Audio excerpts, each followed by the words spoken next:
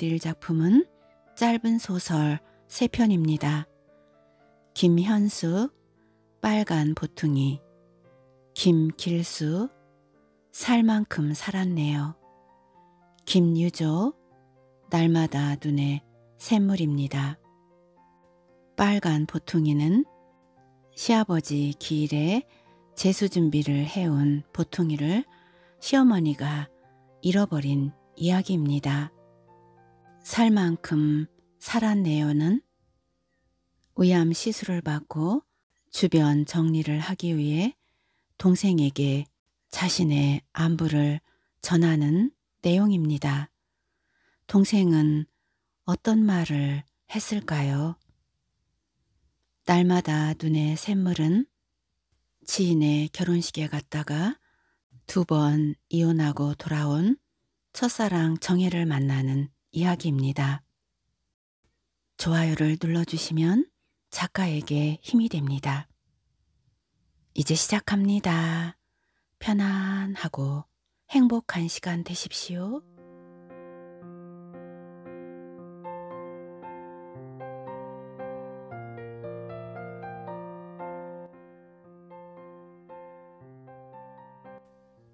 빨간 보퉁이 김현숙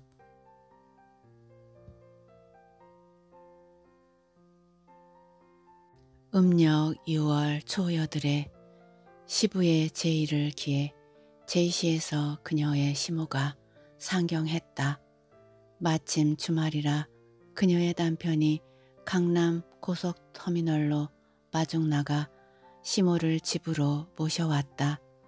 미상불 여느 때와 마찬가지로 시모는 시골집으로부터 갖가지 농산물 제수용품을 한 보따리 가득 싣고 왔다.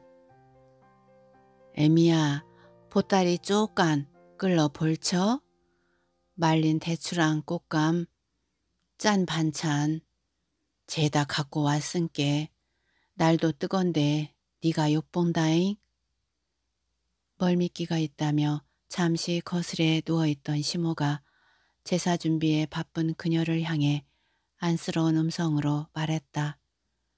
고생은요. 늘 해오던 일인데요. 매번 제사 때면 생리를 걸을 만큼 심한 스트레스에 시달리는 상태였으나 짐짓 그녀는 그렇게 응수한다. 그녀는 시모의 지시대로 얼른 보퉁이를 가져다 속의 내용물을 펼치기 시작했다. 그녀와 남편이 늘 질색하며 빈몸으로 다닐 것을 권유하곤 했으나 막무가내로 버티는 시모의 뜻은 어쩔 수가 없었다. 제사에 임하는 모든 것이 다 당신의 정성임을 굳이 막을 까닭이 무엇냐는 시기였다. 빨간 보퉁이 안에는 상추, 호박, 쑥 같은 주로 야채류가 많았고 아무리 뒤적여도 시모가 말하는 짠 반찬 따윈 눈에 띄지 않음이 이상했다. 어머님, 짠 반찬이 안 보이는데요. 곶감 대추도 없고요. 찬찬히 뒤적거려 보더라고. 그것이 거그 보퉁이 안에 있지 어디로 갔겠냐. 진짜 없어요, 어머님. 꽝꽝 얼린 고깃덩어리만 보이네요. 복잡해서 못 찾겠냐? 어디 내가 찾아볼 텐께. 소파에 누워있던 시모가 벌떡 몸을 일으키며 보따리 앞으로 다가왔다. 얼라? 어쩐 부성기다냐? 오메, 시상에나 이것이 뭔 짝이냐? 이건 내 보퉁이가 아니오. 미일 가는 생만 같으지 내 것이 아니여. 귀신이 고칼 노릇이란께? 짐을 빼면서 보따리가 바뀐 모양이다야. 이 일을 대체 어찐다냐? 참으로 사건은 사건이었다. 시모의 말대로 보따리가 바뀐 것이 틀림없었다. 그렇잖아도 남편이 고속버스 짐칸으로부터 짐을 찾는 순간 시모를 통해 몇 번이고 확인을 거듭한 후에야 빼내온 것인데 그게 바뀌고 말았다니 기막힐 뿐이었다. 이 일을 대체 어째야 쓴다냐. 살아생전 너그 아버지가 징그럽게 묵을 좋아해서 팔뚝 아프게 묵을 쏘았는디 이를 어찐다냐. 새끼들 주려고 갖고 온 부시개며 한과랑 떡은 또 어찐다냐. 애타는 시모의 끌탕은 한참을 더 이어졌다. 야야, 애비야, 무슨 방도가 없겠냐? 시모가 그녀의 남편을 향해 물었다. 별 돌이 없죠. 뭐 잊어버리셔요. 못 찾아요. 그걸 지금 어디서 찾겠어요. 그러니까 제가 늘 빈몸으로 다니시라고 했잖아요. 혼잣몸도 힘드신데 이제 제발 그냥 빈손으로 오세요. 발을 동동 구르는 시모의 애타는 심정은 아랑곳 없이 남편의 반응은 너무도 덤덤하고 냉랭하기만 하다. 남자들이란 그저 아유. 당신 정말 너무해요. 왜 그리 쉽게 포기하는 거죠? 어쩜 찾을 수 있을지도 모르잖아요. 아니, 찾을 수 있어요. 다른 것도 아닌 제수품인데 세상 인심이 그리 각박할까. 어머님, 염려 마세요. 9시 뉴스에 속보를 내서라도 꼭 찾아 드릴게요. 단순하고 직선적인 남편에 비해 매사 밝고 긍정적인 그녀는 그리 쉽게 물러설 기미가 아니다.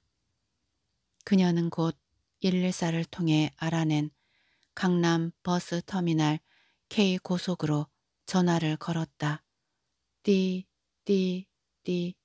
그러나 짜증이 날 정도로 오랜 시간 계속된 통화 중 신호 끝에 겨우 연결이 된 그곳의 전화는 기가 막히게도 자동응답 시스템 예약문에는 1번, 노선 안내는 2번 하는 식으로 앵무새와도 같은 녹음 안내만 계속될 뿐 결코 수화물 분실에 대한 멘트 따윈 나와주질 않았다.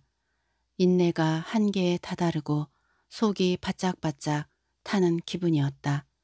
순간 번개처럼 그녀의 머리를 때리는 한 생각이 떠올랐다.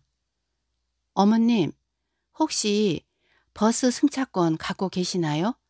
아직 버리지 않으셨죠? 그녀가 물었다. 무엇이든 금방 잘 버리지 않는 시모의 습성을 익히 잘 알고 있기에 가능한 물음이었다. 차표 말이냐? 그것이사 안즉 내 손가방 속에 있을 것인디. 아, 이것 말이냐? 네, 어머님 맞아요. 정말 대단하셔요. 그녀는 시모로부터 승차권을 건네받자 다시금 전화통에 매달리기 시작했다. 승차권에 표시된 제이씨의 K 고속으로 전화하여 강남 터미널 본사 수화물실 연락처를 알아내기까지 얼마나 긴 안내가 필요했던가. 마침내 K고속 수화물 보관소와의 전화가 연결되었다. 오늘 JC 종합터미널에서 K고속으로 11시 20분 서울 도착한 승객인데요. 수화물이 바뀌어 연락드립니다. 마른 입술을 탈삭이며 그녀가 간신히 그렇게 말했을 때였다. 아, 혹시 빨간 보통이 아닙니까? 어머나, 네, 맞아요. 바로 그거예요. 짐 바뀐 승객님이 사무실에 들려 본인의 연락처를 적어놓고 가셨습니다. 친절하게 이를 데 없는 어느 젊은이의 음성이었다. 전화를 끊는 그녀의 기분이 풍선처럼 붕붕 날아올랐다. 어머님, 보통이 찾았어요. 찾았다니까요? 뭐요? 그것이 참말이냐? 인자는 살았다. 살았어야. 애미야, 고맙다. 참말로 고맙다잉. 다 어머님 정성 덕이고 조상님들의 음덕 같아요, 어머님. 글씨, 그랑께 귀신이 없다고도 못하는 것이다잉. 안 그냐? 어느새 자동차 키를 손에 들고 짐을 찾기 위해 집을 나서는 남편을 향해 그녀가 소리쳤다. 그것 봐요. 찾았잖아요. 찾을 수도 있는 거잖아요. 세상은 그래도 아직 희망 있고 살만한 곳이라고요.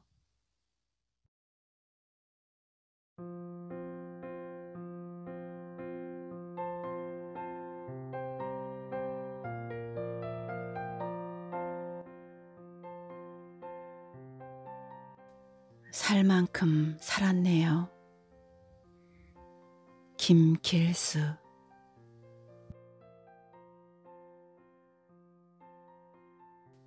어? 저 친구 보게 어쩜 나하고 비슷한 증세잖아? 박영감은 침을 꼴깍 삼켰다. 아래 턱까지 앞으로 쑥 내밀며 대장의 말에 집중했다. 마치 사선을 넘어 기환한 영웅담이기라도 듣듯이 모두 진지했다. 평상시 병이라곤 모르고 살았고 나이도 가장 젊은 산행 대장이 뜬금없이 암 수술을 받았다니. 대원들은 하나같이 기가 막혀 했다. 박영감도 겉으로야 무심한 척 했지만 귀는 온통 대장의 말에 집중했다. 형님들, 지가 그동안 얼마나 미련 멍충이로 살았던가 뼈저리게 후회했다니까요. 무슨 용가리 통빼도 아니면서 이 나이 되도록 그 검사를 피하기만 했은께요. 대장은 스스로에 대한 자책에다 방점을 찍으며 연신 한숨을 내뱉었다. 그래? 그건 진짜로 너무했다. 그 흔해 빠진 내시경 검사를 처음 해봤다니. 어째 그럴 수가 다 있노. 열 번도 더한 것 같은 나로서는 도무지 믿어지지가 않는구만.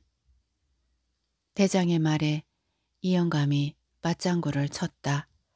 곁에 앉은 박영감은 한 번 더 찔끔했다. 자신이 먼저 그 얘기를 꺼내려고 딸막거렸는데 이영감에게 선수를 뺏긴 셈이었다. 그래, 새삼 미련하단 소리를 들을 필요야 없지. 내일이라도 당장 병원에 가봐야겠다.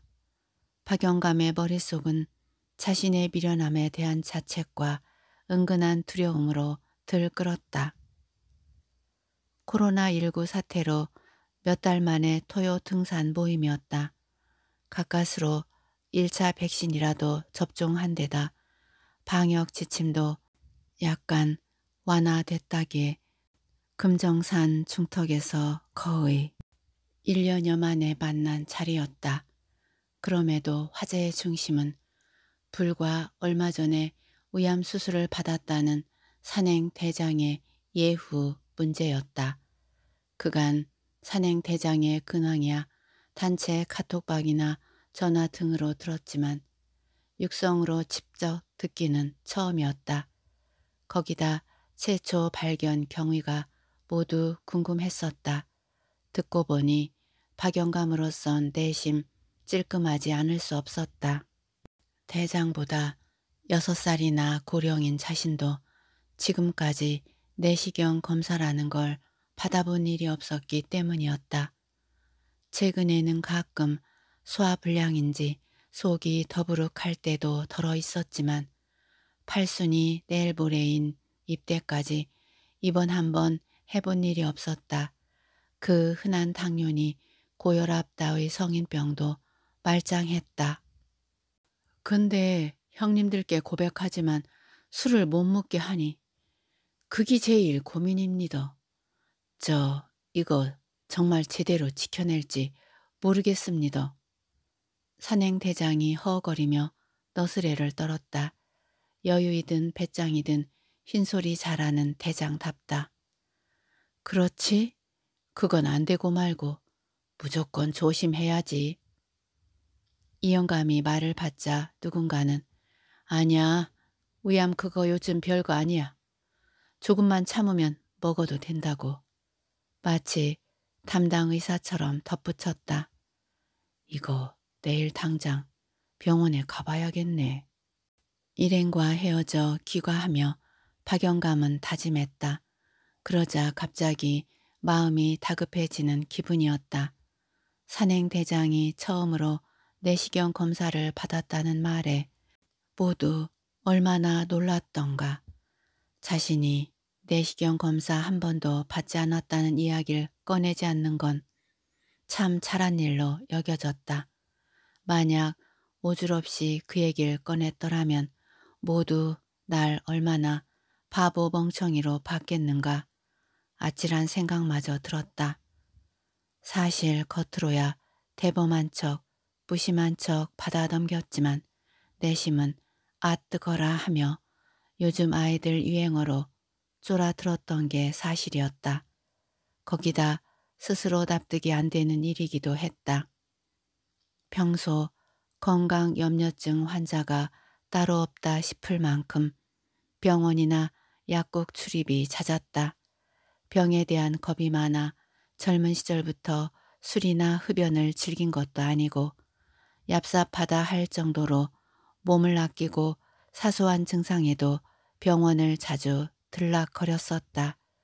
그럼에도 희한하게 내시경 검사에는 무관심했다.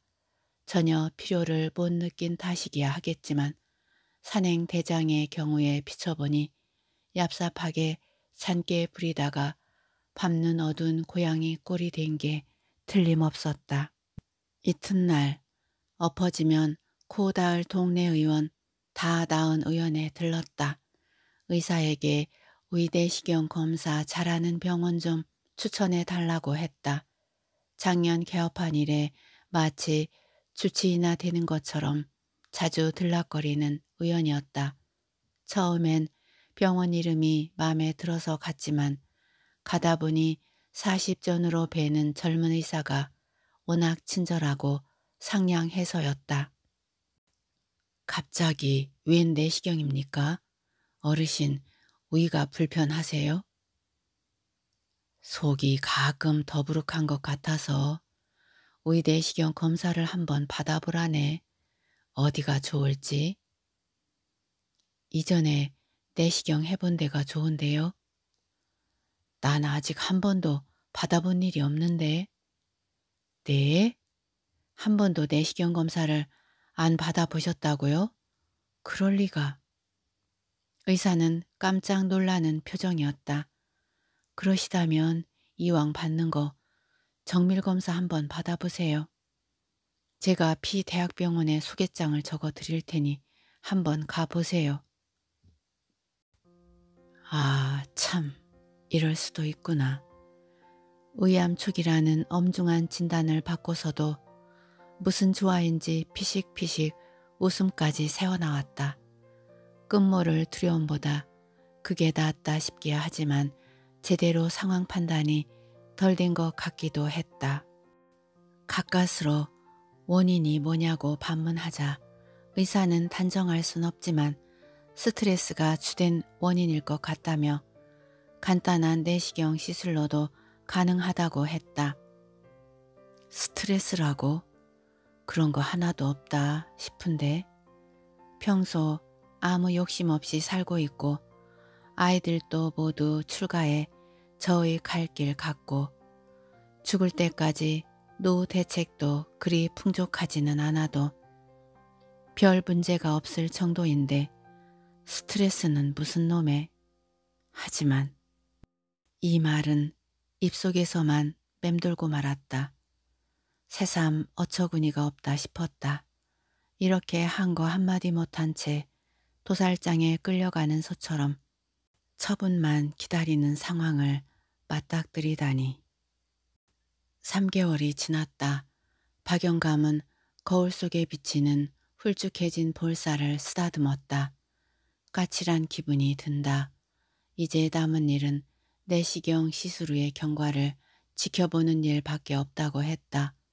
물론 이것 지켜라, 저건 하지 마라 따위에 꼼짝없이 매달리지 않으면 안 되는 주문 사항은 끝이 없다. 의사는 드라마나 영화에서 흔히 들었던 내시경 시술이 아주 잘 됐고 예우도 엄청 좋아 별 걱정하지 않아도 된단다. 동시에 앞으로 4, 5개월만 잘 견디면 더욱 좋은 결과가 나올 것이니 초기부터 몸 관리를 철저히 지침대로 하라는 주의를 잊지 않았다. 시간이 흐를수록 처음 난리라도 난 듯 법석대던 주변이나 아이들의 반응도 진정돼 갔다. 희한한 일이었다. 마치 금방 큰일이라도 터진 것처럼 시끌벅적 하더니만 주변은 어느 순간부터 그저 무심하게 돌아갈 뿐이었다. 심지어 언제 그런 일이 있기나 했어? 하며 되묻는 것 같았다. 유독 마누라만 의사의 지침을 제대로 지켜내나 호랑이 눈으로 감시하고 있을 뿐. 살아온 일이 자꾸만 되돌아 보였다. 살아오며 관계하고 맺어온 모든 관계를 정리해야지 싶었다. 소슬바람이 불어오는 어느 아침 박영감은 문득 동생을 떠올렸다. 하나밖에 없는 동생이다. 나이차가 12살이니 띠동갑이다. 살다 보니 직장 따라 동생은 서울에 박영감은 부산에서 살아왔다. 나이 들다 보니 서로 간 왕래조차 뜸해진 게 사실이다. 스마트폰을 들었다. 몇 번의 신호음이 울린 끝에 동생이 전화를 받았다. 박영감은 간단한 안부 끝에 자신의 근황을 이야기했다. 얼마 전에 의암 시술을 받았다고. 그러자 동생은 잠시의 망설이는 기색도 없이 촉바른 답이 돌아왔다.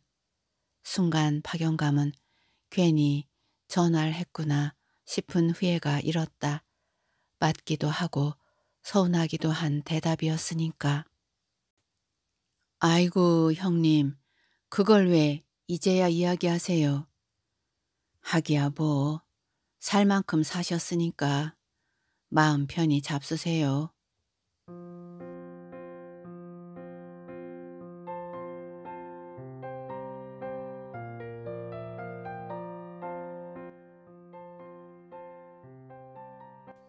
날마다 눈에 샘물 김유조 평면예술 전공 교수인 아내는 방학이 되자마자 프랑스로 세미나인지 뭔지를 핑계 삼아 출국하였다. 평면예술이란 말하자면 옛날식 그림을 말한다. 지금은 미술도 평면, 입체, 설치, 매체 예술로 나누어 한다. 백남주는 글쎄 입체 설치 매체를 통합한 이 시대의 미켈란젤로랄까. 하여간 집안일은 연변이 고향인 조선족 아주머니가 맡아서 하고 있다. 사정을 아는 장돌뱅이 고등학교 동기가 또 마크 찬스네 하고 싱거운 소리를 하였다. 웃기지 마라. 공휴일만 되면 일출비 받아서 예박하고 오는 여자야. 나도 장돌배기 같은 농담으로 응수하였지만 사실은 이 예쁘장한 중년의 조선족 부인은 공휴일마다 나가서 도축장에 허드렛 일로 아르바이트를 하고 있었다. 전에는 주말이면 식당에 나가서 부업을 했는데요. 요즘은 노는 날 사무실 부근의 작은 식당이 어디 영업이 됩니까? 그래서 도축장에 붙어있는 내장 세탁 비슷한 일을 하는 모양이다. 그것도 물론 공휴일이지만 중간 도매상에 일거리가 있다던가 하여간 그런 식의 설명이었다. 미술품 관련 수출입을 하며 이제는 국제 장돌뱅이가 다 되어 드라이하게 사는 나도 처음 조선족 아주머니의 설명을 들었을 때는 눈에 눈물이 핑 돌았다. 우리 부부는 모두 자기 일이 한정없이 바쁜 편이어서 집으로 오는 전화는 이 조선족 아주머니가 받아서 메모를 해 두는데 키즈프리의 재미를 가끔 제공해 준다. 또 문화 차이가 무섭다는 생각도 들게 한다. 예컨대 은혜네 집도 한참 머리를 굴리게 했다. 결국 아내의 친구 은혜네 집이었다. 어제 저녁에 집에 들어오니 이 조선족 아주머니는 공휴일 외출이었고 전화기 앞에는 날마다 눈의 샘물이라는 메모만 달랑 남아 있었다. 이건 퀴즈 난이도가 너무하다 싶어서 휴대폰으로 조선족을 불렀다. 그녀의 답은 궁금증만 더 증폭시켰다. 그대로 맞아요. 남자분이 전화해서는 날마다 눈에 샘물 니 맘이요. 그랬다오. 아이고 끊읍시다. 휴대폰을 진동으로 해놓고 잘 점검하지 않는 내 탓이 컸나 보다. 이번 퀴즈는 크리스마스를 지나고 오는 26일 날 내 친구 아들의 결혼식장으로 내가 발길을 옮기면서 겨우 풀렸다. 결혼식장이 라마다 르네상스였는데 아마도 우리 고등학교 동문 친구들의 모임을 맡고 있는 총무가 이 행사를 재확인한다고 집으로 전화를 한 모양이다. 그래서 날마다 눈에 샘물로 오고 말고는 니마미오가 된 모양이었다. 나는 청첩장으로 그곳에 나타난 것이었다. 이걸 문득 푼 것은 라마다 르네상스 문지방에 발을 들여놓으면서였고 그제서야 나는 날마다 눈에 샘물 니마며 라는 의문으로부터 해탈되는 기쁨을 누린 것이다. 하지만 기쁨도 잠시 내 옆에서 다소곳이 한복 두루마기를 입고 들어서는 부인을 보자 내 가슴에는 울컥하는 슬픔이 치밀어 올라왔다. 정혜였다. 내가 다녔던 고등학교는 남녀공학이었다. 나와 아내와 정혜는 모두 미술반이었다. 나는 정혜가 좋았으나 그녀는 총각이었던 미술 선생님을 몹시 좋아하였다. 작은 소문이 조용히 돌았으나 두 사람은 결합하지 못하였고 대학 입시를 앞두고 정혜는 거의 학교에 나오지 않았다. 하긴 미래를 지망한 고3생들이 모두 실기를 대비하여 학원이나 스튜디오로 출석하던 시절이기도 하였다.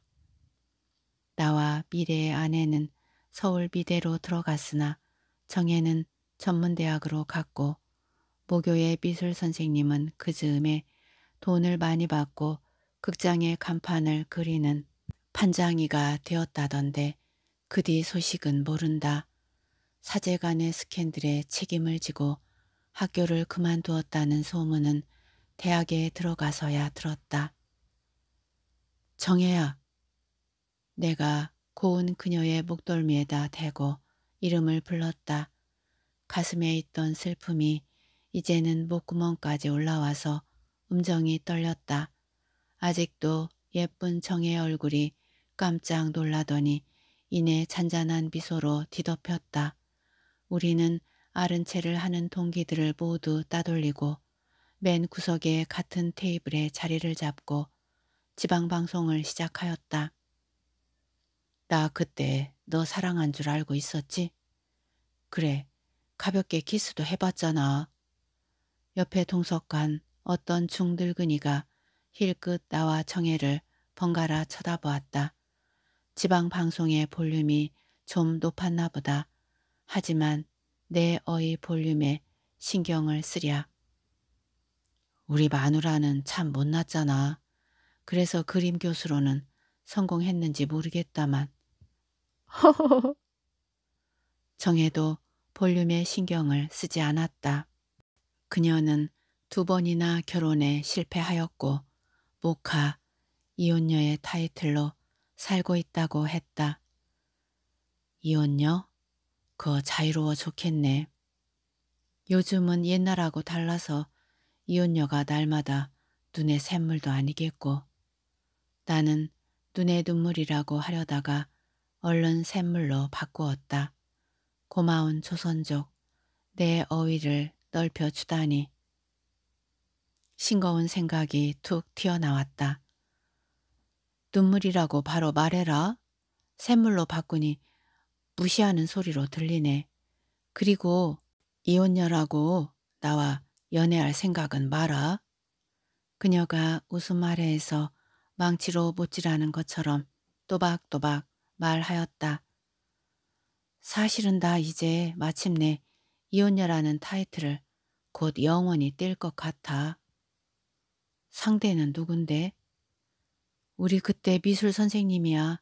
지금 맨하튼에 계셔. street artist. 거리에 인물 화가 말이야. 월도프 아스토리아 호텔 앞에서 관광객 상대지.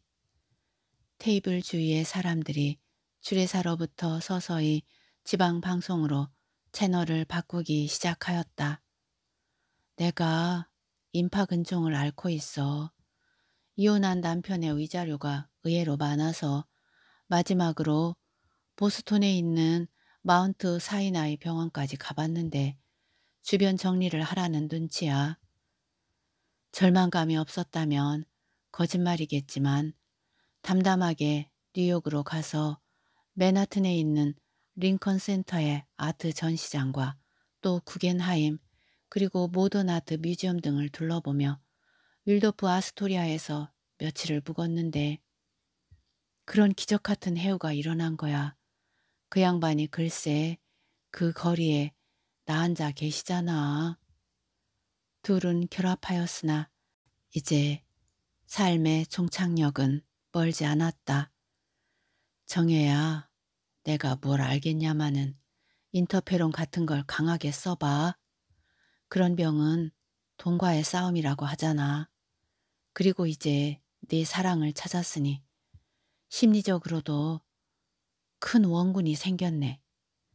내 목소리는 마침내 울먹이고 있었다. 샴페인 터지는 소리가 아득히 들려왔다.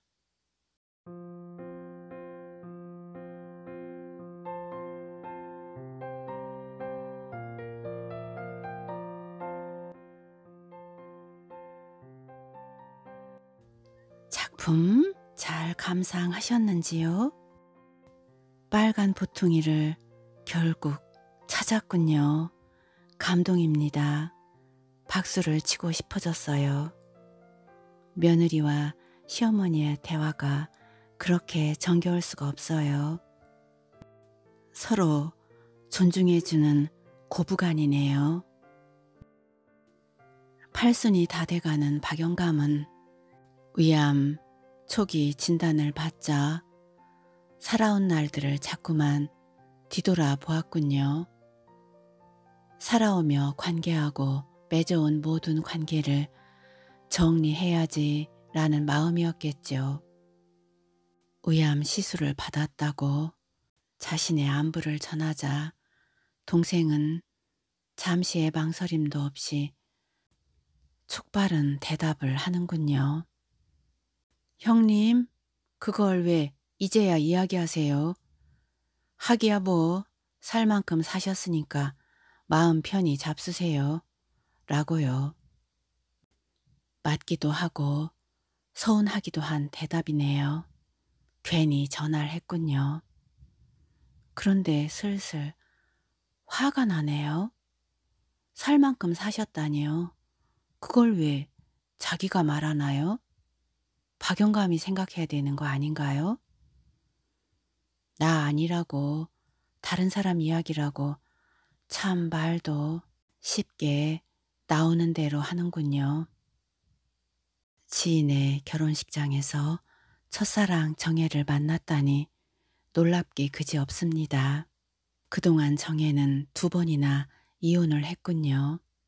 그런데 인파 근종을 앓고 있어 주변 정리를 해야 할 상황이 되어버렸군요. 삶의 끝자락에서 첫사랑 미술 선생님을 다시 해오한 것은 운명 같아요. 사랑도 찾고 심리적으로도 큰 원군도 만나고 삶의 종착역으로 가는 길은 애롭지 않을 것 같아요. 둘은 결합하였으니 뭐 바랄 게 더 있을까요? 날마다 날마다 새롭게 살아가겠죠? 끝까지 함께 해주셔서 고맙습니다. 다음 작품으로 또 만나요.